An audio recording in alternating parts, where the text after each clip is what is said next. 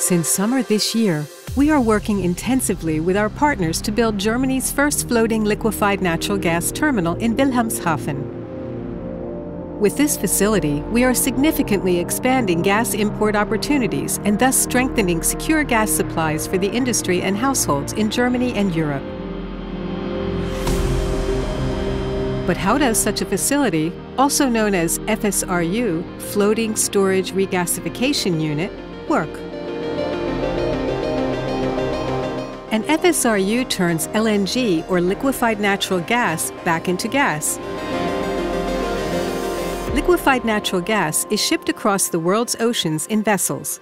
To enable the transport in this manner, the originally gaseous natural gas is cooled down to minus 160 degrees when the ship is loaded. The liquefied natural gas then has only a 600th of its original volume.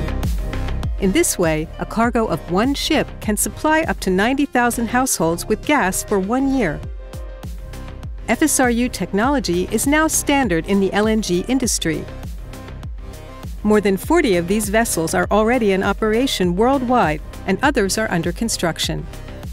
Wilhelmshaven is the only deepwater port in Germany. The LNG vessels can dock at any time, regardless of the tide. Once the vessel has docked, it is connected to the FSRU via tubes. Regasification then takes place on board of the FSRU. The gas is then piped via discharge arms to the gas metering station, where it is handed over to the operator of the long distance gas network. Once it has been fed into the network, it can be passed on directly to consumers, for example, to steel or chemical companies that need the gas for their production processes or to municipal utilities to supply households. Alternatively, the gas can be stored temporarily in our gas storage facilities in Etzel or Krummhörn. With our LNG terminal in Wilhelmshaven, as well as our gas storage facilities, we make an important contribution to supply security in Germany.